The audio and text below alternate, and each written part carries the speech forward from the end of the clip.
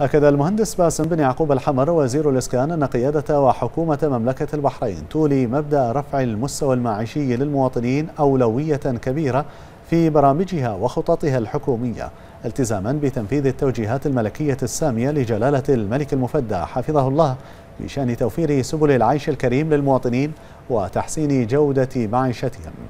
وأضاف الوزير خلال الكلمة التي ألقاها لدى مشاركته في أعمال الدورة الأولى للجمعية العامة لموئل الأمم المتحدة للمستوطنات البشرية المنعقدة بالعاصمة الكينية نيروبي أن المملكة تواكب الجهود, الدولية الرامية إلى تحقيق أهداف التنمية المستدامة ولا سيما الهدف الحادي عشر الذي ينص على جعل المدن والمستوطنات البشرية شاملة للجميع وآمنة وقادرة على الصمود والاستدامة. وقال وزير الإسكان إن الأعمال الكاملة للحق في السكن الملائم هو محور أهداف البحرين الإنمائية والرؤية الاقتصادية للبحرين 2030 حيث تضع تلك الأهداف المواطنة في صميم التنمية من خلال تحسين كفاءة الخدمات الحكومية وهو ما تبين في برنامج عمل الحكومة السابق والحالي حيث تم دمج الإسكان في سياسة التنمية الوطنية بشكل استراتيجي يسهم في دعم الاقتصاد ويعزز الاندماج والازدهار. وقال المهندس الحمر أن البحرين قامت بتشييد ثلاث مدن إسكانية خلال الحقبة الممتدة من الستينيات وحتى تسعينيات القرن الماضي بالإضافة إلى عشرات المجمعات السكنية إضافة إلى تنويع الخيارات الإسكانية أمام المواطنين من خلال توفير خدمات التمويل وتخصيص الأراضي السكنية. الأمر الذي نتج عنه توفير, توفير 129 ألف خدمة إسكانية خلال العقود الخمسة الماضية. استفاد منها 65% من المواطنين البحرينيين.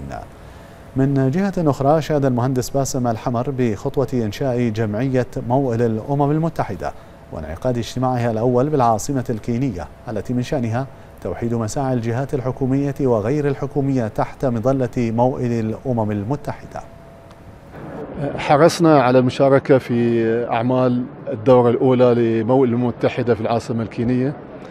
لتسليط الضوء على جهود المملكة في تنفيذ أهداف التنمية المستدامة 2030 والخطة الحضرية الجديدة. في الوقت اللي أبرز عنوان الدورة الأولى هو الابتكار في تحسين جودة الحياة نلاحظ أن إحنا الحمد لله في البحرين أيضا اهتمنا كثير في الابتكار على أساس أن هناك طرحت وزارة الإسكان العديد من البرامج المبتكرة. أيضا حرصنا من خلال هذا الملتقى أن نعرض تجارب مملكة البحرين ويتم فيها أيضا تبادل خبرات. البحرين من أوائل الدول التي تبنت معظم أهداف التنمية المستدامة وإدخالها هذه في الخطة.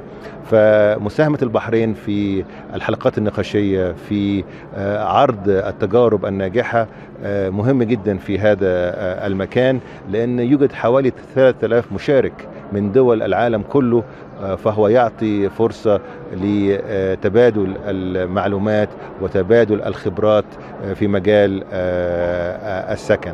كل هذا يأتي في إطار دعم برامج الأمم المتحدة ومنظماتها من خلال الإطار الاستراتيجي الذي تم توقيعه لسنوات 2018-2022 ومع وزارة الخارجية ممثلة عن حكومة البحرين ويشمل 16 منظمة أممية.